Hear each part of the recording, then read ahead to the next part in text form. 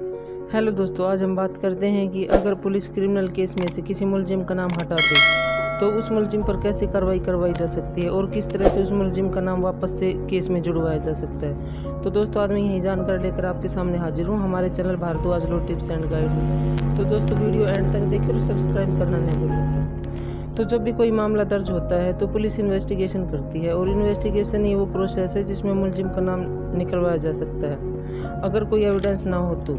अगर कोई एविडेंस किसी के खिलाफ नहीं मिलती है तो मुलजिम का नाम पुलिस हटा देती है इन्वेस्टिगेशन के दौरान। एफआईआर में मेंशन नहीं करती है। अगर आपका कोई मामला है और उसमें से पुलिस ने मुलजिम का नाम हटा दिया है, और आपको यह पता चलता है कि इन्वेस्टिगेशन के दौरान किसी व्यक्ति का नाम हटा दिया कर जो कि उस केस में रियल में मुलजिम है तो आपको क्या करना है कि सबसे पहले किसी वकील से मिलना है और आपको एक एस पी साहब के नाम एक एप्लीकेशन लिखनी पड़ेगी। उसमें आपको ये मेंशन करना होगा कि भाई जो भी ये केस चल रहा है, उसमें जो कार्रवाई हो रही है, वो निष्पक्ष नहीं हो रही है। तो इसमें निष्पक्ष जाँच करवाई जाए और इसमें जो इन्वेस्टिगेशन ऑफिसर है, उसको चेंज किया जाए। तो जो एसपी है, उसकी ज़िम्मेदारी होगी कि आपके एप्लीकेशन पर तुरंत कार्रवाई करे और जो इन्वेस्टिगेशन है, उसको फिर से करवाएगा और आप जो अधिकारी है इन्वेस्टिगेशन जो ऑफिसर है, उसको चेंज करेगा।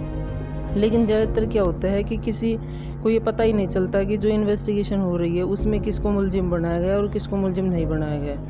बल्कि जब पता चलता है, जब चार्जशीट पेश कर दी जाती है, उस दौरान आपको पता चलता है कि कि पुलिस ने मुलजिम किसको बनाया है और किसका नाम निकाल दिया गया है इन्वेस्टिगेशन के दौरान।